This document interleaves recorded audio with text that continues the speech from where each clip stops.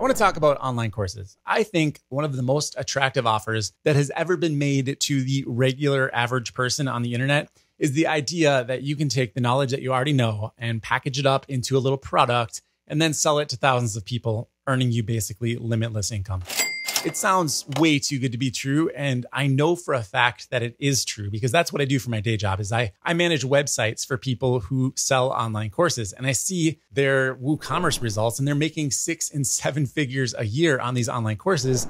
So why isn't everyone doing this? And I think one of the major problems is how do you actually even sell an online course? What are my options? Where if I if I were to make a course, where would I put it? There's basically three different types of online course platforms out there. There's literally hundreds of different companies allowing you to sell your online courses, but they really can be boiled down into about three different types. The first of which is the marketplace talking particularly here about something like Udemy or Skillshare, where traffic is already going to those sites and people are searching for topics, and then they're taking courses based on what the search results are. The benefit for the creator here is that it doesn't cost anything to get in the door. You just upload your course to the service. And if you're able to rank highly in the searches, you're going to get customers. You don't have to have an existing audience. You don't need to do any marketing. It's really just about making the content and showing up high on the search results. So that's a beautiful idea. Conceptually, that is fantastic and kind of the ideal scenario. In practicality, the issue is that these platforms are so densely populated with courses, it's nearly impossible to rank in the first few results. If I wanted to sell a course on knitting, which you know I would think that's kind of obscure, you can see there's 183 results on Udemy here.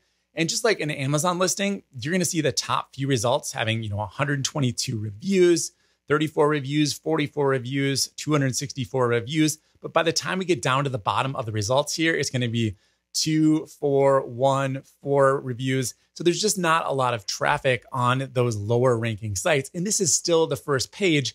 We've got how many different pages here of search results for knitting. So to win on these platform websites, you really have to look for an area where no one's making courses but yet people are still searching for those keywords, which is a really difficult thing to do.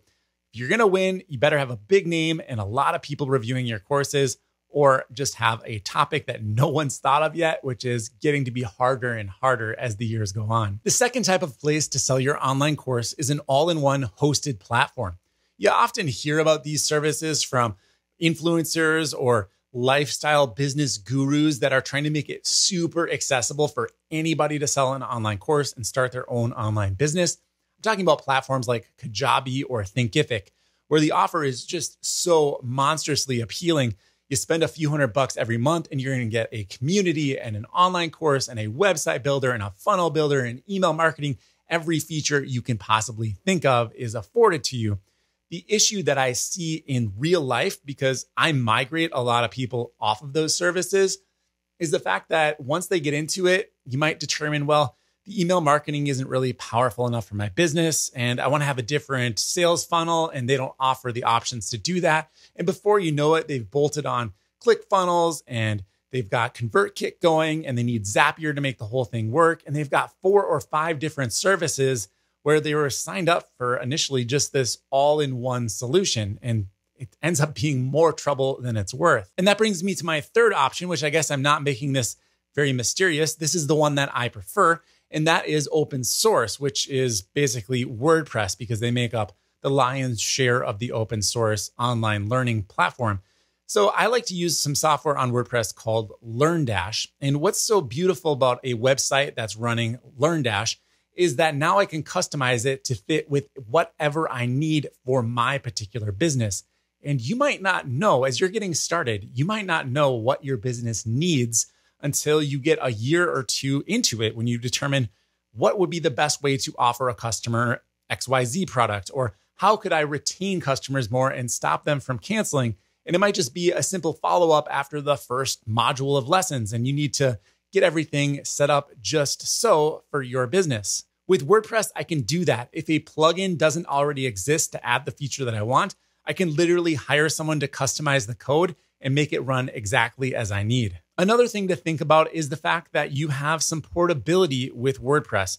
And what I mean by that is if you're not happy with your online course with, let's say, Thinkific, and you decide you want to move over to Kajabi, there's no export button in Thinkific and no import button in Kajabi that work together. You can't just easily move all of your courses and all of your customers over from one platform to another.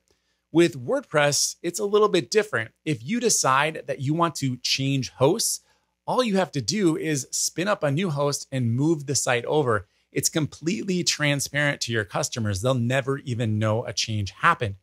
Versus those all in one platforms, if you want to switch and you do manually copy and paste all of your course content over, you still have to email all of your existing customers and have them set up a brand new account.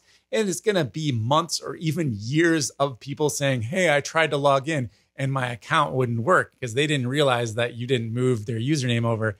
It can be a huge hassle. Now, some of the critics out there are going to say that WordPress is too complex for the average person. And I'm not going to disagree entirely there. WordPress has a long way to go to make the sign up process smoother and just make it easier to get going. However, there are new services out there like LearnDash Cloud, which allow you to spin up a very powerfully hosted website and run LearnDash for like 30 bucks a month. And if you pay annually, it's $300 a year. And that includes your LearnDash license. So there's no extra fees there. You literally get everything you need for like 30 bucks a month compared to two or $500 a month with some of these all in one platforms. Granted, you're still to probably need some email marketing software and maybe a landing page builder. So there will be other things that you want to add in. However, if you just have an audience and you want to test a course, 30 bucks, I think just about everybody can afford that. So even though WordPress has a lot of flaws and a lot of places to improve, I still believe that the upsides are far worth the downsides and the little bit of extra effort that you need to put into managing a WordPress website. And as your business grows, you just outsource that. You hire people like me to take care of it for you as you're getting started, I'm really glad that services like LearnDash Cloud exist to get you in the door and kind of get you acclimated to the platform in a really user friendly kind of way. I'm going to be setting up my own online course using LearnDash Cloud in an upcoming video. So if there's anything about that platform you want to know about, make sure you leave me a comment down below. That's going to do it for this video. Thank you for watching. If you haven't already, make sure you subscribe and I'll see you in the next one.